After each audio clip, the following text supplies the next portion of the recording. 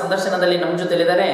ವಿಜಯಪುರ ಜಿಲ್ಲೆ ಆಲ್ಮೇಲ್ ಪಟ್ಟಣ ಪಂಚಾಯಿತಿ ಚುನಾವಣೆ ವಾರ್ಡ್ ನಂಬರ್ ಎಂಟು ಕಾಂಗ್ರೆಸ್ ಪಕ್ಷದ ಅಭ್ಯರ್ಥಿ ಹಾಗೂ ಸಂಗನ ಬಸವೇಶ್ವರ ಶಿಕ್ಷಣ ಸಂಸ್ಥೆ ಸಹ ಕಾರ್ಯದರ್ಶಿ ಹಾಗೂ ನಾಗರಿಕ ವೇದಿಕೆ ಕಾರ್ಯದರ್ಶಿ ಆಲ್ಮೇಲ್ ಮಾಜಿ ನಾಮನಿರ್ದೇಶಿತ ಪಟ್ಟಣ ಪಂಚಾಯಿತಿ ಸದಸ್ಯರು ನಿರಂತರ ಮೂವತ್ತೈದು ವರ್ಷಗಳಿಂದ ಸಮಾಜ ಸೇವೆ ಮಾಡ್ತಾ ಬಂದಿರುವ ಈ ಭಾಗದ ಸಮಾಜ ಸೇವಕರು ಶ್ರೀಮಾನ್ಯ ಅಶೋಕ್ ಕುಳಾರಿ ಸರ್ ಹಾಗೂ ಜಿಲ್ಲಾ ಕಾಂಗ್ರೆಸ್ ಕಾರ್ಯದರ್ಶಿ ರಮೇಶ್ ಬಂಟ್ನೋರ್ ಸರ್ ನಮ್ಮ ಉಪಸ್ಥಿತಿಯಲ್ಲಿದ್ದಾರೆ. ಇವರಿಗೆ ನಮ್ಮ national politics online social media ಪರವಾಗಿ ಹಾರ್ದಿಕ ಸ್ವಾಗತ ಸರ್ ನಮಸ್ಕಾರ. ಸರ್ ನಮಸ್ಕಾರ. ಸರ್ ನಮಸ್ಕಾರ. ಮೊದಲನೇದಾಗಿ ತಮ್ಮ ಒಂದು ಪರಿಚಯ ನಮ್ಮ ವೀಕ್ಷಕರಿಗೆ ಹೇಳಿ ಸರ್. ನಾನು ಈ ಆಲ್ಮೇಲ ಪಟ್ಟಣ ಪಂಚಾಯತಿಯ ಎಂಟನೇ ವಾರ್ಡಿನ ಮತದಾರರ ಬಂಧುಗಳಲ್ಲಿ ಏನಂದರೆ ಶ್ರೀ ಅಶೋಕ್ ಮಾದೇವಪ್ಪ ಕೊಳಾರಿ ಎಂತಿದ್ದು ನಾನು ಈ ಆಗ್ನೇಯ ಪಟ್ಟಣ ಪಂಚಾಯತಿ ಎಣ್ಣೆ ಎಂಟನೇ ವಾರ್ಡಿನ ಮತದಾರ ಬಾಂಧ- ಬಾಂಧವರಿಗೆ ನಮಸ್ಕಾರಗಳು. ಸರ್ ಅದೇ ರೀತಿ ತಮ್ಮ ಒಂದು ಪರಿಚಯ ನಮ್ಮ ವೀಕ್ಷಕರಿಗೆ ಹೇಳಿ ಸರ್. ಸರ್ ನಾನು ರಮೇಶ್ ಭಟ್ನೂರ್ ಅಂತ. ವಿಜಯಪುರ ಜಿಲ್ಲಾ ಕಾಂಗ್ರೆಸ್ ಪಕ್ಷದ ಕಾರ್ಯದರ್ಶಿಯಾಗಿ ಕೆಲಸ ಮಾಡ್ತಾ ಇದ್ದೀನಿ. ಆಮೇಲೆ ನಾಗರಿಕ ವೇದಿಕೆ ಅಧ್ಯಕ್ಷನಾಗಿ ಕೆಲಸ ಮಾಡ್ತಾ ಇದ್ದೀನಿ. ಸರ್ ಈಗ ತಮ್ಮ ಒಂದು ಈ ಸಮಾಜ ಸೇವೆ ಮತ್ತು ರಾಜಕೀಯ ಯಾವಾಗಿಂದ ಶುರು ಮಾಡಿದ್ರಿ ಮತ್ತೆ ಏನು ಪ್ರೇರಣೆ ಸರ್ ಇದಕ್ಕೆ? ಸಮಾಜ ಸೇವೆ ರಾಜಕೀಯ ಮತ್ತು ಮೂವತ್ತು ಮೂವತ್ತೈದು ವರ್ಷಗಳಿಂದ ನನ್ನ ಸೇವೆ ಸಲ್ಲಿಸುತ್ತಾ ಬಂದಿದ್ದೇನೆ. ಹಿಂದೆ ನಮ್ಮ ತಂದೆಯವರಾದ ಮಾದೇವಪ್ಪ ಕೊಳಾರಿ ಅವರು ಗ್ರಾಮ ಪಂಚಾಯತ್ ಸದಸ್ಯರವರು ನಮ್ಮ ತಾಯಿ ಲಲಿತಾಬಾಯಿ ಕೊಳಾರಿ ಅವರು ಗ್ರಾಮ ಪಂಚಾಯತ್ ಸದಸ್ಯರಾಗಿದ್ದರು. ಅತ್ತೆ ನ್ಯಾಯ ಪಂಚಾಯತಿ ಹತ್ತು ಹಳ್ಳಿಗೆ ಒಡನಾಟ ಆಗಿಂತ ನಮ್ಮ ತಂದೆಯವರಾದ ಮಾದೇವಪ್ಪ ಕೊಳಾರಿಯಿಂದ ನನಗೆ ಪ್ರೇರಣೆ ಸಿಕ್ತು. ಈಗ ರಾಜಕೀಯ ರಂಗದಲ್ಲಿ ತಮಗೆ ಗುರುಗಳಂತ ಯಾರಿಗೆ ಭಾವಿಸ್ತೀರಿ ಸರ್? ನಮ್ಮ ತಂದೆಯವರಾದ ಮಾದೇವಪ್ಪ ಕೊಳಾರಿ ತಂದೆಯವರಿಗೆ ರಾಜಕೀಯ ಗುರುಗಳಂತ ಭಾವಿಸ್ತೀರಿ. ಹೌದು. ಸರ್ ಈಗ ಮೊದಲನೇದಾಗಿ ತಮ್ಮ ಕೇಳೋದಾದ್ರೆ ಈಗ ಒಂದು ಪಟ್ಟಣ ಪಂಚಾಯತಿ ಚುನಾವಣೆ ನಡೀತಾ ಇದೆ. ಈ ಪಟ್ಟಣ ಪಂಚಾಯತಿ ಚುನಾವಣೆ ವಾರ್ಡ್ ನಂಬರ್ ಎಂಟು ತಾವು ಕಾಂಗ್ರೆಸ್ ಪಕ್ಷದಿಂದ ಅಭ್ಯರ್ಥಿಯಾಗಿದ್ರಿ. ಈಗ ಸರ್ ಮೊದಲು ಈ ಹಿಂದೆ ತಾವು ನಾಮನಿರ್ದೇಶಿತ ಒಂದು ಪಟ್ಟಣ ಪಂಚಾಯತಿ ಸದಸ್ಯರಿದ್ದಾಗ ಮುಖ್ಯವಾಗಿ ಏನೇನು ಅಭಿವೃದ್ಧಿ ಕೆಲಸಗಳು ಈ ಭಾಗದಲ್ಲಿ ಮಾಡಿದ್ರಿ ತಾವು? ನಾನು ಪಟ್ಟಣ ಪಂಚಾಯತಿಯ ನಾಮನಿರ್ದೇಶನಾಗಿ ಸುಮಾರು ಹನ್ನೆರಡು ಲಕ್ಷ ರೂಪಾಯಿದಲ್ಲಿ ವೆಚ್ಚವಂತ ಶೌಚಾಲಯ ಹೈ ಮಾಸ್ಟ್ ಶೌಚಾಲಯ ಮಾಡಿದ್ದೀನಿ. ಜೊತೆಗೆ ಎರಡು ವಿದ್ಯುತ್ ದೀಪಗಳು ನನ್ನ ವಾರ್ಡ್ನಲ್ಲಿ. ಜೊತೆಗೆ ಸಿ ಸಿ ರೋಡು ಮತ್ತು ಚರಂಡಿ ರಸ್ತೆಗಳು ಎಲ್ಲನೂ ಸುಧಾರಣೆ ಮಾಡಿದ್ದೀನಿ. ಈ ಜನರಿಗೆಲ್ಲಂತೂ ನಾನು ಮಾಡಿದಂಥ ಕೆಲಸ ಕಾರ್ಯಗಳೇ ಗೊತ್ತಿದ್ದಂಥ ವಿಷಯ. ಸರ್ ಅದರ ಜೊತೆಗೆ ಈಗ ತಾವು ಸಾಕಷ್ಟು ಒಂದು ಹುದ್ದೆಗಳಲ್ಲಿದ್ರಿ ಒಂದು ಶಿಕ್ಷಣ ಸಂಸ್ಥೆಯಲ್ಲಿ ಕೂಡ ತಾವು ಕಾರ್ಯದರ್ಶಿ ಆಗಿದ್ರಿ ಹೌದು. ಈಗ ಅದ್ರ ಜೊತೆಗೆ ಈಗ ನಿಮ್ಮ ವಾರ್ಡಿನಲ್ಲಿ ವಾರ್ಡ್ ನಂಬರ್ ಎಂಟರಲ್ಲಿ ಅಂಗನವಾಡಿ ಅಂಗನವಾಡಿಗಳಾಗಿರ್ಬೋದು ಇವತ್ತು ಒಂದು ಪ್ರಾಥಮಿಕ ಶಾಲೆಗಳಾಗಿರ್ಬೋದು ಈ ರೀತಿ ಇದೆಯಾ ಸರ್? ಇಲ್ಲ ಅಂಗನವಾಡಿ ಇದೆ ಸರ್. ವಾರ್ಡಲ್ಲಿ ಒಂದು ಅಂಗನವಾಡಿ ಇದೆ. ಅದರ ಶಾಲೆಗಳಂತೂ ಯಾವುದಿಲ್ಲ ಈಗ ಒಂದು ರಾಜ್ಯ ರಾಷ್ಟ್ರ ವ್ಯಕ್ತಿಗತ ಉನ್ನತೀಕರಣ ಕಾಣಬೇಕಾದ್ರೆ ಶಿಕ್ಷಣದ ಪಾತ್ರ ಬಹಳ ಮಹತ್ವದ್ದು. ತಾವು ಒಂದು ಶಿಕ್ಷಣ ರಂಗದ ಒಂದು ಕಾರ್ಯದರ್ಶಿಗಳಾಗಿ ಒಂದು ಶೈಕ್ಷಣಿಕವಾಗಿ ಯಾವ ರೀತಿಯಲ್ಲಿ ಸೇವೆಯನ್ನು ಸಲ್ಲಿಸ್ತಾ ಇದ್ದೀರಿ ಸರ್? ಈಗ ನಾನು ಶಿಕ್ಷಣ ಸಂಸ್ಥೆಯ ಸಂಗಮೇಶ್ವರ ಸ್ಕೂಲಿನ ಶಿಕ್ಷಣ ಸಂಸ್ಥೆಯ ಸಹಕಾರದಲ್ಲಿ ಕೆಲಸ ಮಾಡ್ತಾ ಇದ್ದೇನೆ. ಹಾಗೆ ಒಳ್ಳೆಯ ಶಿಕ್ಷಣ ಕೊಡಿಸುವಂಥ ಮಕ್ಕಳಿಗೆ ಒಳ್ಳೆಯ ಒಳ್ಳೆಯ ವಿದ್ಯಾಭ್ಯಾಸ ಇವೆಲ್ಲರ ಜೊತೆಗೆ ನಾನು ರಾಜಕೀಯ ರಂಗದಲ್ಲಿ ಜೊತೆಗೆ ನಮ್ಮ ರಾಣಿ ಚೆನ್ನಮ್ಮ ಸೌಹಾರ್ದ ಬ್ಯಾಂಕಿನ ಅಧ್ಯಕ್ಷನಾಗಿ ಕೆಲಸ ಕಾರ್ಯಗಳನ್ನು ಮಾಡ್ತಾ ಖಂಡಿತ ಸರ್ ಅದೇ ರೀತಿ ಈಗ ನಾಗರಿಕ ವೇದಿಕೆ ಒಂದು ಕಾರ್ಯದರ್ಶಿಗಳು ಕೂಡ ಆಗಿದ್ರಿ ನಾಗರಿಕ ವೇದಿಕೆ ಅಧ್ಯಕ್ಷರು ಕೂಡ ಇಲ್ಲಿದ್ದಾರೆ. ಆ ಸಂಸ್ಥೆ ಒಂದು ಯಾವ ರೀತಿ ಕೆಲಸ ಕಾರ್ಯಗಳನ್ನು ಮಾಡ್ತಾ ಮಾಡ್ತಾ ಬಂದಿದೆ ಮತ್ತೆ ನಿಮ್ಮ ಪಾತ್ರ ಏನಿದೆ ಅದರಲ್ಲಿ? ನಾಗರಿಕ ವೇದಿಕೆಯಿಂದ ಸುಮಾರು ಮೂವತ್ತು ವರ್ಷಗಳಿಂದ ನಾಗರಿಕ ವೇದಿಕೆಯ ಕಾರ್ಯದರ್ಶಿ ಕೆಲಸ ಮಾಡ್ತಾ ಇದ್ದೇನೆ. ಸುಮಾರು ಹತ್ತು ಹಲವಾರು ಕೆಲಸಗಳಂದ್ರೆ ಪಟ್ಟಾಧಿಕಾರ ಆದ್ಮೇಲೆ ನಡೆಯುವಂಥ ಜಾತ್ರೆ ಹಬ್ಬ ಹರಿದಿನಗಳಲ್ಲಿ ಈ ಥರ ನಾನು ಕೆಲಸ ಮಾಡ್ಕೊತ ಬಂದಿದ್ದೇನೆ. ಆ, ಖಂಡಿತ ಸರ್ ಈಗ ನೀವು ಈಗ ಒಂದು ನೂತನವಾಗಿ ಆಲ್ಮೇಲ್ ಪಟ್ಟಣ ಒಂದು ತಾಲೂಕಾಗಿ ಘೋಷಣೆ ಆಗಿದೆ ಆ ತಾಲೂಕಿನ ಒಂದು ತಾಲೂಕು ಆಗುವ ನಿಟ್ಟಿನಲ್ಲಿ ತಾವು ಪಟ್ಟಿರುವಂತ ಶ್ರಮ ಹೋರಾಟಗಳು ಏನೇನ್ ಮಾಡಿದ್ರೆ ಸರ್ ಅದು ತಾಲೂಕು ಹೋರಾಟದಲ್ಲಿ ಸುಮಾರು ಎರಡ್ ಸಾವಿರದ ಮೂರರಿಂದ ನಿರಂತರ ಹೋರಾಟ ಮಾಡ್ಕೋತ ಬಂದು ಏನು ಪೊಲಿಟಿಷಿಯನ್ನಿಂದ ಕೇಸ ಇಂಥವೆಲ್ಲ ಹಾಕೋದು ಬಂದು ನಾನು ಕಡೆಗೆ ಯಶಸ್ವಿಯಾಗಿ ಆಮೇಲಿಂದ ವಿಜಯಪುರದವರೆಗೆ ಪಾದಯಾತ್ರೆಯನ್ನು ನಡಿಗೆಯಲ್ಲಿ ನಡೆದು ಬೆಂಗಳೂರು ವಿಧಾನಸಭಾ ಮತ್ತು ಬೆಳಗಾವ ವಿಕಾಸಸೌಧದಲ್ಲಿ ನಾವು ಚಳವಳಿಗಳನ್ನು ಹಮ್ಮಿಕೊಂಡಿದ್ದೆವು. ಅದೇ ರೀತಿ ಬಂಡೂರು ಸರ್ ಈಗ ತಾಲೂಕಿನ ಒಂದು ಹೋರಾಟದಲ್ಲಿ ತಮ್ಮ ಒಂದು ಪಾತ್ರ ಏನಿತ್ತು ಮತ್ತೆ ಯಾವ ರೀತಿ ಹೋರಾಟ ಮಾಡಿದ್ರಿ ಅದರಲ್ಲಿ? ಸರ್ ಸರ್ ತಾಲೂಕಾ ಹೋರಾಟಪ್ಪ ಅಂತಂದ್ರೆ ಆಲ್ಮೇಲೆ ಒಂದು ಮಾಸ್ ಹೋರಾಟ ಆಗಿತ್ತು. ಯಾವ ರೀತಿ ಅಂತಂದ್ರೆ ನಮಗೆ ಗದ್ದಿಗೌಡರ ವರದಿ ಹುಂಡೆಕಾರ ವರದಿ ಮತ್ತು ಈ ರೀತಿಯಾದಂಥ ಒಂದು ನಾಲ್ಕು ವರದಿಗಳು ಆಲ್ಮೇಲ್ ಪಟ್ಟಣವನ್ನ ತಾಲೂಕು ಮಾಡಬೇಕು ಅನ್ನುವಂಥದ್ದು ಒಂದು ಅವಾಗಿನ ವರದಿಯಲ್ಲಿತ್ತು. ಯಾಕಂತಂದ್ರೆ ಬ್ರಿಟಿಷ್ ಕಾಲದೊಳಗೆ ಕಲಾದಗಿ ಜಿಲ್ಲೆ ಇದ್ದಾಗ ಪರಗಣ ಆದ್ಮೇಲೆ ಅಂತ ಇತ್ತು ಅವಾಗ ಪರಗಣ ಅಂದ್ರೆ ಒಂದು ತಾಲೂಕಾ ಸಿಸ್ಟಮ್ ಅವಾಗ ಇದ್ದಿದ್ದು. ಅಂತ ಒಂದು ಪರಗಣ ಇರುವಂತಹ ಒಂದು ಕಲಾದಗಿ ಜಿಲ್ಲೆ ಇದ್ದಂತ ಸಮಯದೊಳಗ ನಮ್ಮ ಆಲ್ಮೇಲನ್ನು ಮರೆತು ಬಿಟ್ಟಿದ್ರು ಆ, ರಾಜಕೀಯ ಇಚ್ಛಾಶಕ್ತಿ ಕೊರತೆ ಇತ್ತು. ಆ ದೃಷ್ಟಿಯಿಂದ ಯಾರು ತಾಲೂಕ ಮಾಡಲೇ ಇದ್ದಾಗ ನಮ್ಮ ಇಡೀ ಒಂದು ಆಲ್ಮೇಲ್ನ ಎಲ್ಲ ಜನಾಂಗ. ನಾನೇ ಒಬ್ಬನೇ ಮಾಡಿದ್ದೀನಿ ಮತ್ತೊಬ್ಬ ಒಬ್ಬನೇ ಮಾಡಿದ್ದೀನಿ ಅಂತಲ್ಲ. ಆಲ್ಮೇಲ್ ಇಡೀ ಎಲ್ಲ ಜನಾಂಗವನ್ನು ಒಟ್ಟುಗೂಡಿಸುವಂಥ ಕೆಲಸ ಅಶೋಕ್ ಅವರು ನಾವು ಕೂಡ ಮಾಡಿ, ಅದನ್ನು ಹೋರಾಟದಿಂದ ಕೈಗೊಂಡ್ವಿ. ಬಸ್ ಸುಟ್ಟದ್ದಾಯ್ತು, ಆಮೇಲೆ ಅದ್ರ ಮೇಲೆ ಕೇಸ್ ಹಾಕೊಂಡಿದ್ದಾಯಿತು. ಹೇಳಬೇಕು, ನಮ್ಮ ಮನೆ ಮಂದಿ ಎಲ್ಲ ಆ ಟೈಮ್ನಲ್ಲಿ ಕೇಸ್ನಲ್ಲಿದ್ರು ಸ್ವತಃ ಮಾದೇವಗೌಡ ಕೊಳಾರಿ ಅಂತೇಳಿ ನಮ್ಮ ಅಶೋಕ್ ಕೊಳಾರಿ ಅವ್ರ ತಂದೆಯವರು, ಅವರು ಕೂಡ ಜೈಲು ಅನುಭವಿಸಿದ್ರು ಅದರೊಳಗೆ, ಹಿರಿಯರವರು. ಜೈಲು ಅನುಭವಿಸೋರು ಇಂಥವೆಲ್ಲ ಹೋರಾಟಗಳಾದವು. ಕೊನೆಗೆ ಉಪವಾಸ ಸತ್ಯಾಗ್ರಹ ಕುಂತೀವಿ.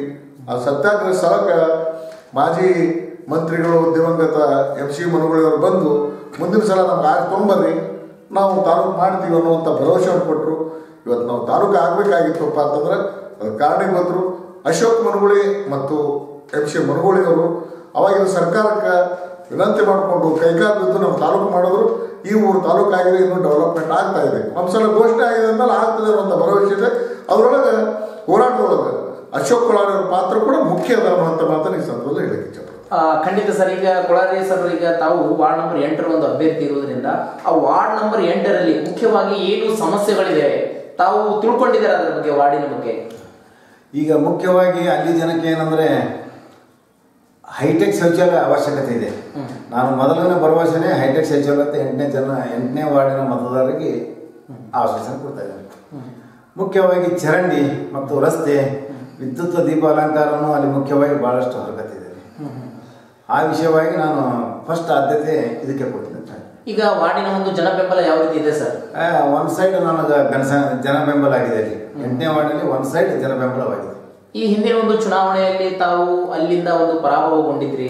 ಪರಾಭವಗೊಂಡ ನಂತರ ತಾವು ಜನರ ಮೇಲೆ ಏನು ಬೇಸತ್ತು ಕೂತ್ಕೊಂಡ್ರ ಅಥವಾ ಜನರ ಸೇವೆಯಲ್ಲಿದ್ರಿ? ಯಾವ ರೀತಿ?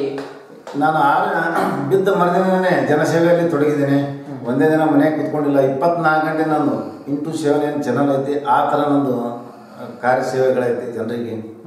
ಯಾವುದೇ ಒಂದು ನ್ಯಾಯ ಪಂಚಾಯತಿ ನಿಷ್ಠುರವಾಗಿ ಯಾವ್ದು ಹತ್ತು ಪರ್ಸೆಂಟ್ ಯಾಕೆ ನಾನು ಕೆಲಸ ಮಾಡಿದ್ದೀನಿ. ನಾನು ದಿವಸ ಸದಸ್ಯದಾಗ ನಾ ಎರಡುನೂರು ಮನೆ ನಮ್ಮ ಎಂ ಪಿ ಪಾಟೀಲ್ ನನ್ನ ಸಹಕಾರಿ ಕೊಟ್ಟಿದ್ದರು. ಎಲ್ಲ ಮನೆಗಳನ್ನೆಲ್ಲ ತಂದು ಎಲ್ಲ ವಾರ್ಡಿಗೆ ಹತ್ತರಂತೆ ನಾ ತಪ್ಪಿಸಿದ್ದೀನಿ ಆ ಥರ ಎಲ್ಲ ಜನರಿಗೆ ನನಗೆ ಭಾಳ ಅನುಭವ ಅದ ಅಶೋಕ್ ಗೌಡ ಆರಿಸ್ಕೊಂಡು ಕೆಲಸ ಮಾಡ್ತಾನ ಕೆಲಸ ಮಾಡ್ತಾನ ಅನ್ನೋದು ಎಲ್ಲ ಜನರಿಗೆ ಗೊತ್ತಿದೆ. ಇದು ತ್ರಿಕೋನ ಸ್ಪರ್ಧೆ ಅಥವಾ ನೇರ ಕಾಂಗ್ರೆಸ್ ಮತ್ತು ಬಿಜೆಪಿ ಸ್ಪರ್ಧೆ ಯಾವ ರೀತಿ ಇದೆ ಸರ್ ನಿಮ್ಮ ವಾರ್ಡಿನಲ್ಲಿ ಇಲ್ಲ ಸರ್ ಏನಿಲ್ಲ. ಬಿಜೆಪಿಗೆ ನಾನು ಫೈಟ್ ಸರ್. ತ್ರಿಕೋನ ಸ್ಪರ್ಧೆ ಇಲ್ಲ ಅಂದ್ರೆ ಟ್ರಯಾಂಗಲ್ ಇಲ್ಲ. ಜೆ ಡಿ ಎಸ್ ಸೀಟ್ ಇಲ್ವಾ ಸರ್ ಅಲ್ಲಿ ಹೇಗೆ? ಬಿಜೆಪಿ ಮತ್ತು ಕಾಂಗ್ರೆಸ್ ಫೈಟ್ ನೇರ? ನೇರ. ಬಂಡೋಡ್ ಸರ್ ಈಗ ತಾವೊಂದು ನೂತನವಾಗಿ ಜಿಲ್ಲಾ ಕಾಂಗ್ರೆಸ್ಗೆ ಕಾರ್ಯದರ್ಶಿಗಳಾಗಿದ್ರಿ. ಈ ಹಿಂದೆ ಕೂಡ ತಾವು ಮಾಜಿ ಕಾರ್ಯದರ್ಶಿಗಳಾಗಿದ್ರಿ. ಮತ್ತೆ ನಿಮ್ಗೆ ಒಂದು ಪಕ್ಷ ಇನ್ನೊಂದು ಅವಕಾಶ ಮಾಡಿಕೊಟ್ಟಿದೆ. ಏನ್ ಅನಿಸ್ತಾ ಇದೆ ಸರ್ ಈ ಸಂದರ್ಭದಲ್ಲಿ? ಏನಿಲ್ಲ ಕಾಂಗ್ರೆಸ್ ಪಕ್ಷ ಅದು ದೊಡ್ಡ ಸಾಗರ ಸಮುದ್ರ ಇದ್ದಂಗೆ. ಯಾರು ಕೆಲಸ ಮಾಡ್ತಾರೆ, ಅದನ್ನು ಗುರುತಿಸಿ ಆ ಒಂದು ಕಾರ್ಯ ಕೊಡ್ತಿರ್ತಾರೆ ಕಾಂಗ್ರೆಸ್ ಪಕ್ಷದಲ್ಲಿ. ಯಾರು ವಶೀಲಿ ಇರಂಗಿಲ್ಲ, ಯಾರು ನಮ್ಮ ಮನುಷ್ಯ ಅಂತ ಇರಂಗಿಲ್ಲ. ಯಾರು ಆಸ್ ಎ ಪ್ರಾಂಪ್ಟ್ ಆಗಿ ವರ್ಕ್ ಮಾಡ್ತಾರೆ ಅವರಿಗೆ ಆ ಕಾರ್ಯದರ್ಶಿ ಕೊಟ್ಟಿದ್ದಾರೆ. ಆ ಕಾರ್ಯದರ್ಶಿ ಕೊಟ್ಟಿದ್ದಕ್ಕೆ, ಜಿಲ್ಲಾ ಕಾರ್ಯದರ್ಶಿ ಮಾಡಿದ್ದಕ್ಕೆ ಮುಖ್ಯವಾಗಿ ನಾನು ಅಶೋಕ್ ಮನಗುಳಿ ಅವ್ರನ್ನ, ಸನ್ಮಾನ್ಯ ಡಿ ಕೆ ಶಿವಕುಮಾರ್ ಅವ್ರನ್ನ, ಸಿದ್ದರಾಮಯ್ಯ ಸಾಹೇಬ್ರನ್ನ, ಆಮೇಲೆ ಎಲ್ ಬಿ ಪಾಟೀಲ್ ಸಾಹೇಬ್ರನ್ನ ಯಶವಂತರೇಗೌಡ ಪಾಟೀಲ್ ಇಂಡಿ ಶಾಸಕರು ಅವ್ರನ್ನ, ಆಮೇಲೆ ನಮ್ಮ ಸುನಿಲ್ ಗೌಡ ಪಾಟೀಲ್ ವಿಧಾನ ಪರಿಷತ್ ಸದಸ್ಯರು ಅವ್ರನ್ನ ಇವರೆಲ್ಲರೂ ಕೂಡ ನಾನು ಹೃತ್ಪೂರ್ವಕವಾಗಿ ಅಭಿನಂದನೆಯನ್ನು ಸಲ್ಲಿಸ್ತಾ ಇದ್ದೀನಿ. ವಿಶೇಷವಾಗಿ ಅಶೋಕ್ ಮನಗೋಳಿ ಅವರು ಅದಕ್ಕೆ ಒಂದು ಪ್ರಯತ್ನ ಮಾಡಿದ್ದಾರೆ ಅಂತೇಳಿ ನಾನು ಬಲ ಮೂಲಗಳಿಂದ ಗೊತ್ತಾಗಿದೆ ಅಷ್ಟೇ. ಸರ್, ಈಗ ಒಂದು ಪಟ್ಟಣ ಪಂಚಾಯತಿ ಚುನಾವಣೆ ನಡೀತಾ ಇದೆ, ಆಲ್ಮೇಲ್ ಪಟ್ಟಣದಲ್ಲಿ. ತಮ್ಮ ಪಕ್ಷದ ಒಂದು ಅಭ್ಯರ್ಥಿಗಳಿಗೋಸ್ಕರ ತಾವು ಯಾವ ರೀತಿ ಒಂದು ತಯಾರಿ ನಡೀತಿದೆ ನಿಮ್ದು? ಮತ್ತೆ ಯಾವ ರೀತಿ ಪ್ರಚಾರ ನಡೀತಾ ಇದೆ?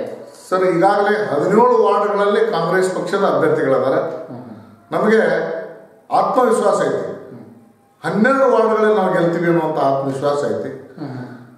ಮೊನ್ನೆ ನಡೆದಂಥ ವಿಧಾನಸಭೆ ಚುನಾವಣೆಗಳು ಕೂಡ ಎಲ್ಲ ಕಡೆ ಏನೇನು ಗದ್ದಲ ಇಲ್ಲಿ ಸಾಕಷ್ಟು ಕೋಟಿಗಟ್ಟಲೆ ದುಡ್ಡನ್ನ ವಿರೋಧ ಪಕ್ಷದವರು, ಅಂದ್ರೆ ಕಾಂಗ್ರೆಸ್ ಪಕ್ಷದ ವಿರೋಧ ಪಕ್ಷದವರು, ನಮ್ಮ ವಿರೋಧ ಪಕ್ಷದವರು ಇಲ್ಲಿ ಸುರೋದು ಆದರೂ ಕೂಡ ಆಲ್ಮೇಲೊಳಗೆ ಕಾಂಗ್ರೆಸ್ ಪಕ್ಷಕ್ಕೆ ಹೆಚ್ಚು ಮತಗಳು ಇದು ಕಾರಣ ಏನಪ್ಪಾ ಅಂತಂದ್ರೆ ನಮ್ಮಲ್ಲಿ ಅಶೋಕ್ ಮನಗುಳವರಾಗಲಿ ಅವ್ರ ತಂದೆಯವರಾಗಲಿ, ಇಲ್ಲಿ ಅನೇಕ ಅಭಿವೃದ್ಧಿ ಕಾರ್ಯಗಳನ್ನು ಮಾಡಿದ್ರು.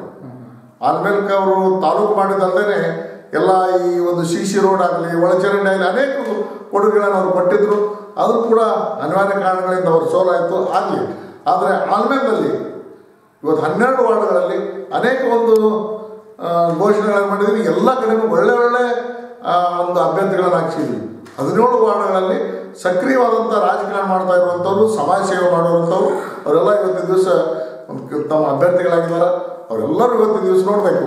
ನಮ್ಮಲ್ಲೆಲ್ಲ ಸಾಧಿಕ್ ಸುಂಬುಡ್ ಅಂತೇಳಿ, ಅವರು ಮಾಜಿ ಗ್ರಾಮ ಪಂಚಾಯತ್ ಅಧ್ಯಕ್ಷರು ಮತ್ತು ಮಾಜಿ ಪಟ್ಟಣ ಪಂಚಾಯತ್ ಸದಸ್ಯರು. ಇವರೆಂಥವರೆಲ್ಲ ಅಲ್ಲಿ ಇವತ್ತಿನ ದಿವಸ, ನಮ್ಮ ಅಭ್ಯರ್ಥಿಗಳಾಗಿದ್ದಾರೆ. ಅವರೆಲ್ಲರೂ ಕೂಡ ಇವತ್ತಿನ ದಿವಸ ಪ್ರಯತ್ನ ಮಾಡಲಾಗುತ್ತಾರೆ ಆಮೇಲೆ ಐದು ದೇವ್ರ ಮನೆ ಅಂತೇಳಿ ನಮ್ಮ ಬ್ಲಾಕ್ ಅಧ್ಯಕ್ಷರಿದ್ದಾರೆ. ಇವರೆಲ್ಲ ಇವತ್ತಿನ ದಿವಸ ಕೆಲಸ ಮಾಡ್ಲತ್ತಾರ ವಿಶೇಷವಾಗಿ ನಮ್ಮ ಅಶೋಕ್ ಕೊಳಾರಿ ಅಂತ ಸೋಷಿಯಲ್ ವರ್ಕರ್ ಕಾಂಗ್ರೆಸ್ ಪಕ್ಷದವರು ಸಮಾಜ ಸೇವೆ ಹೇಳಿದ್ರೆ ಅವರು ಟ್ವೆಂಟಿ ಫೋರ್ ಇಂಟು ಸೆವೆನ್ ಯಾಕಂದ್ರೆ ನಮಗೆ ಅವರಿಗೆ ಒಂದು ದಿವ್ಸಕ್ಕೆ ಹಗಲು ಹನ್ನೆರಡು ತಾಸು ಕೊಡಬಾರ್ದಾಗಿತ್ತು. ಹದಿನೆಂಟು, ಇಪ್ಪತ್ತು ತಾಸು ಕೊಟ್ಟರೆ ಚಲೋ ಆಗ್ತಿತ್ತು ಏನೋ. ಅಷ್ಟು ಕೆಲಸ ಮಾಡ್ಲಿಕ್ಕೆ ನಮ್ಮ ಅನುಕೂಲ ಆಗ್ತಿತ್ತು ಅನ್ನೋ ಅನ್ನುವಂಥ ಹುಮ್ಮಸ್ಸಿನಲ್ಲಿರುವಂಥವ್ರು. ವಯಸ್ಸಾಗಿರೋದ್ರೂ ನಮ್ಮ ದೇಹಕ್ಕಾಗಿರ್ಬೋದು, ಮನಸ್ಸಿಗೆ ಮತ್ತು ನಮ್ಮ ವಿಚಾರಗಳಿಗಾಗಿಲ್ಲ ಇನ್ನೂ ಕೆಲಸ ಮಾಡಬೇಕು. ಆಶೆ ಅದ ಹದಿನೇಳರಲ್ಲಿ ಹನ್ನೆರಡು ಕಡೆ ನಮಗೆ ಇವತ್ತಿನ ದಿವಸ ಕಾಂಗ್ರೆಸ್ ಪಕ್ಷ ಆಚೆ ಬರ್ತದ ಅನ್ನುವಂಥ ಆತ್ಮವಿಶ್ವಾಸ ನಮಗೆ. ಸರ್, ಈಗ ಕಾಂಗ್ರೆಸ್ ಪಕ್ಷಕ್ಕೆ ಮತ್ತೆ ನಿಮ್ಮ ಒಂದು ಅಭ್ಯರ್ಥಿಗಳಿಗೆ ಕಾಂಗ್ರೆಸ್ ಪಕ್ಷಕ್ಕೆ ಜನ ಯಾಕೆ ಕೊಟ್ಟು ಕೊಡ್ಬೇಕು ಏನು ಕಾರಣ ಅಂತ ಹೇಳ್ಬೋದು ಸರ್?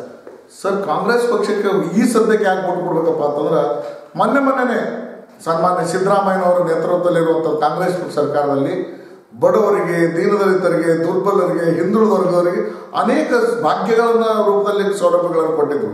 ಇವತ್ತು ಬಿ ಜೆ ಪಿ ಎಲ್ಲಗಳನ್ನು ಬಂದ್ ಮಾಡಿದೆ. ನಾವು ವಿಚಾರ ಮಾಡ್ಬೇಕು ಇವತ್ತು. ನಮ್ಮ ಆಲ್ಮೇಲ್ ಭಾಗದಲ್ಲಿ. ಇವತ್ತಿನ ದಿವಸ ಕೃಷ್ಣ ಭಾಗ್ಯ ಜಲ ನಿಗಮ, ಅದಕ್ಕಿಂತ ಮೊದಲು U K P Lal Bahadur Shastri ಅವರ ಸಮಯದಲ್ಲಿ ಆಲ್ಮಟ್ಟಿಗೆ ಅಣೆಕಟ್ಟು ಕಟ್ಟಡವನ್ನು ಕಟ್ಟಿದ್ರು. ಇವತ್ತು ನೀರು ಏನಾದರೂ ನಾವು ಉಣ್ತಿದ್ರೆ, ನಾವು ಇವತ್ತಿನ ದಿವಸ ಬಂಗಾರದ ಬೆಳೆಯನ್ನು ಇಲ್ಲಿ ಬೆಳೀತಾ ಇದ್ರೆ ಅದು ಕಾಂಗ್ರೆಸ್ ಪಕ್ಷ ಕಾರಣ ಅಲ್ಲ. ಇವತ್ತು ಹತ್ತು ವರ್ಷಗಳಲ್ಲಿ ಮೋದಿಯವರು ಕೇಂದ್ರದಲ್ಲಿ ಸರ್ಕಾರದಿಂದ ಯಾವ ಇವತ್ತಿನ ದಿವಸ ಡೆವಲಪ್ಮೆಂಟ್ ಯೋಜನೆಗಳಿಲ್ಲ, ಅಭಿವೃದ್ಧಿ ಪರವಾದಂಥ ಯೋಜನೆಗಳಿಲ್ಲ. ಏನಿದು ಬರೀ ಭಾಷಣಕ್ಕೆ ಮಾತ್ರ ಸೀಮಿತ ಅದಾರ? ಜನರಿಗೆ ಧರ್ಮ ಮತ್ತು ಜಾತಿ ಜಾತಿಗಳ ಮಧ್ಯದಲ್ಲಿ ವಿಷಬೀಜ ಬಿತ್ತುವಂಥ ಕೆಲಸವನ್ನು ಬಿಜೆಪಿ ಮಾಡ್ತಾ ಇದ್ದಾರೆ ಅವ್ರ ಕಾಂಗ್ರೆಸ್ ಪಕ್ಷ ಅಭಿವೃದ್ಧಿ ಪರವಾದಂತ ಕೆಲಸ ಮಾಡ್ತಾ ಇದ್ದಾರೆ ಇವತ್ತು ಇದು ದೀನದಲ್ಲಿದ್ದರು ದುರ್ಬಲರು ಇವತ್ತು ಮೇಲೆ ಎಲ್ಲ ಕಾರಣಪ್ಪ ಅಂತಂದ್ರೆ ಕಾಂಗ್ರೆಸ್ ಪಕ್ಷ ಅದಕ್ಕೆ ಕಾಂಗ್ರೆಸ್ ಪಕ್ಷಕ್ಕೆ ಓಟ್ ಹಾಕ್ಬೇಕಂತ ಆ, ಸರ್ ಈಗ ನೀವು ಒಂದು ಜನರಿಗೆ ಇಲೆಕ್ಷನ್ ಪ್ರಚಾರ ಸಂದರ್ಭದಲ್ಲಿ ಕೊಟ್ಟಿರುವಂತಹ ಭರಸೆಗಳು ಜನ ಮುಂದಿನ ದಿನಗಳಲ್ಲಿ ತಮಗೆ ಆಶೀರ್ವಾದ ಮಾಡಿದ್ರೆ ಅದು ಈಡೇರಿಸ ಈಡೇರಿಸಲು ಭರ ಭರವಸೆ ಕೊಡ್ತೀರಾ ಸರ್ ನಮ್ಮ ಒಂದು ಮಾಧ್ಯಮದ ಮುಖಾಂತರ ಜನರಿಗೆ? ನೂರಕ್ಕೆ ನೂರು ಎಂಟನೇ ವಾರ್ಡಿನ ಮತದಾರರಲ್ಲಿ ತಿಳಿಸೋದೇನೆಂದರೆ ನೂರಕ್ಕೆ ನೂರು ನಾನು ಏನು ಆಶ್ವಾಸನೆ ಕೊಟ್ಟಿದ್ದೀನಿ. ಶೌಚಾಲಯ ಹೈಮಟ್ ಶೌಚಾಲಯ ಮತ್ತು ಚರಂಡಿ ಸಿಸಿ ರಸ್ತೆ ವಿದ್ಯುತ್ ದೀಪಾಲಂಕಾರ ಇವೆಲ್ಲ ಮಾಡ್ದಂತ ಅವ್ರಿಗೆ ಆಶ್ವಾಸನೆ ಕೊಟ್ಟಿದ್ದೀನಿ. ಮಾಡೇ ತೀರ್ತೀನಿ ನೂರು ನೂರ ಒಂದರಷ್ಟು ನಾನು ಮಾಡ್ತಿದ್ದೆ ಕೊನೆಯದಾಗಿ ಸರ್ ಈಗ ನಮ್ಮ ಒಂದು ಮಾಧ್ಯಮದ ಮುಖಾಂತರ ನಿಮ್ಮ ಒಂದು ವಾರ್ಡಿನ ಜನರಿಗೆ ಏನು ಮನವಿ ಮಾಡ್ಕೊಳ್ತೀವಿ ಸರ್? ದಯವಿಟ್ಟು ಎಂಟನೇ ವಾರ್ಡಿನ ಮತದಾರರಲ್ಲಿ ನನ್ನ ಸೇವೆಗೆ ತಾವೆಲ್ಲ ಆಶೀರ್ವಾದ ಮಾಡಬೇಕಾಗಿ ನಿಮಗೆ ಕೇಳಿಕೊಡ್ತೇನೆ ಅದೇ ರೀತಿ ಸರ್ ತಮ್ಮ ಒಂದು ಸಂಪೂರ್ಣ ಒಂದು ಎಲ್ಲ ಅಭ್ಯರ್ಥಿಗಳ ಪರವಾಗಿ ತಾವು ಏನು ಮನವಿ ಮಾಡ್ಕೊಳ್ತೀವಿ ಸರ್ ನಮ್ಮ ಮಾಧ್ಯಮದ ಮುಖಾಂತರ ನಿಮ್ಮ ಆಲ್ಮೇಲ್ ಪಟ್ಟಣದ ಜನರಿಗೆ? ಆಲ್ಮೇಲ್ ಪಟ್ಟಣದಲ್ಲಿ ನಿಂತ ಕಾಂಗ್ರೆಸ್ ಪಕ್ಷದ ಅಭ್ಯರ್ಥಿಗಳಿಗೆ ಇಡೀ ಊರಿನ ಜನ ಮತ ಹಾಕಬೇಕು ಅಭಿವೃದ್ಧಿ ಪರವಾದಂಥ ಕೆಲಸಗಳನ್ನು ಕಾಂಗ್ರೆಸ್ ಪಕ್ಷದಿಂದ ನೋಡಬೇಕು. ಮುಂದಿನ ನಿರ್ಮಾಣಗಳಲ್ಲಿ ಎರಡು ಸಾವಿರದ ಇಪ್ಪತ್ತ್ಮೂರರಲ್ಲಿ ಕರ್ನಾಟಕದಲ್ಲಿ ಮತ್ತೆ ಕಾಂಗ್ರೆಸ್ ಪಕ್ಷ ಅಧಿಕಾರಕ್ಕೆ ಬರ್ತದ ತಾವೆಲ್ಲರೂ ಕೂಡ ಆಶೀರ್ವಾದ ಮಾಡಬೇಕು ಅಂತೇಳಿ ತಮ್ಮಲ್ಲಿ ವಿನಂತಿ ಮಾಡ್ಕೊತಾ ಇದ್ದೀನಿ. ಆ, ಖಂಡಿತ ಸರ್ ಎಷ್ಟೊತ್ತು ತಮ್ಮ ಒಂದು ರಾಜಕೀಯ ಅನುಭವ ಸಮಾಜ ಸೇವೆ ಅಭಿವೃದ್ಧಿ ಕೆಲಸಗಳು ನಮ್ಮ ಹಾಗೂ ನಮ್ಮ ವೀಕ್ಷಕರೊಂದಿಗೆ ಹಂಚಿಕೊಂಡಿದ್ದಕ್ಕೆ ತಮಗೆ ಧನ್ಯವಾದಗಳು ಸರ್ ನಮಸ್ಕಾರ. ನಮಸ್ಕಾರ ಸರ್. ತಾವು ನೋಡಿದ್ರಲ್ಲ ವೀಕ್ಷಕರೇ ವಿಜಯಪುರ ಜಿಲ್ಲೆ ಆಲ್ಮೇಲ್ ಪಟ್ಟಣ ಪಂಚಾಯಿತಿ ಚುನಾವಣೆ ಎರಡ್ ಸಾವಿರದ ಇಪ್ಪತ್ತೊಂದು ವಾರ್ಡ್ ನಂಬರ್ ಎಂಟು ಕಾಂಗ್ರೆಸ್ ಪಕ್ಷದ ಅಭ್ಯರ್ಥಿ ಹಾಗೂ ಸಂಗನ ಬಸವೇಶ್ವರ ಶಿಕ್ಷಣ ಸಂಸ್ಥೆ ಸಹ ಕಾರ್ಯದರ್ಶಿ ನಾಗರಿಕ ವೇದಿಕೆ ಕಾರ್ಯದರ್ಶಿ ಆಲ್ಮೇಲ್ ಮಾಜಿ ನಾಮ ನಿರ್ದೇಶಿತ ಪಟ್ಟಣ ಪಂಚಾಯಿತಿ ಸದಸ್ಯರು ನಿರಂತರ ಮೂವತ್ತೈದು ವರ್ಷಗಳಿಂದ ಸಮಾಜ ಸೇವೆ ಮಾಡ್ತಾ ಬಂದಿರುವ ಈ ಭಾಗದ ಸಮಾಜ ಸೇವಕರು ಶ್ರೀಮಾನ್ಯ ಅಶೋಕ್ ಕೊಳಾರಿ ಸರ್ ಹಾಗೂ ಜಿಲ್ಲಾ ಕಾಂಗ್ರೆಸ್ ಕಾರ್ಯದರ್ಶಿಗಳು ರಮೇಶ್ ಬಂಟೋರ್ ಸರ್ ಇವರ ಮಾತುಗಳನ್ನು ಇವರು ಇನ್ನಷ್ಟು ಹೆಚ್ಚಿನ ಮಾಹಿತಿಗಾಗಿ ಹಿಂದೆ ಲಾಗಿನ್ ಆಗಿ W W W dot politicians in India dot com. ಜೈ ಹಿಂದ್, ಜೈ ಕರ್ನಾಟಕ. ಪ್ರಿಯ ಎಂಟನೇ ವಾರ್ಡಿನ ಮತದಾರ ಬಂಧುಗಳಲ್ಲಿ ವಿನಂತಿ ಏನೆಂದರೆ ಅಶೋಕ್ ಮಾದೇವಪ್ಪ ಕೊಳಾರಿ ನಾನು. ಎಂಟನೇ ವಾರ್ಡಿನ ಅಭ್ಯರ್ಥಿಯಾಗಿ ಸ್ಪರ್ಧಿಸಿದ್ದೇನೆ. ಎಂಟನೇ ವಾರ್ಡಿನ ಮತದಾರರಲ್ಲಿ ವಿನಂತಿಸಿಕೊಳ್ಳೋದೇನೆಂದರೆ, ಇಪ್ಪತ್ತೇಳು, ಹನ್ನೆರಡು, ಎರಡು ಸಾವಿರದ ಇಪ್ಪತ್ತೊಂದರಂದು ನಡೆಯುವ ಮತದಾನದಲ್ಲಿ ನನ್ನ ಕ್ರಮ ಸಂಖ್ಯೆ ಒಂದು, ಹಸ್ತದ ಕಾಂಗ್ರೆಸ್ ಅಭ್ಯರ್ಥಿದ ಹಸ್ತದ ಗುರುತಿಗೆ ಮತ ನೀಡಿ ಆಶೀರ್ವಿಸಬೇಕಾಗಿ ವಿನಂತಿ.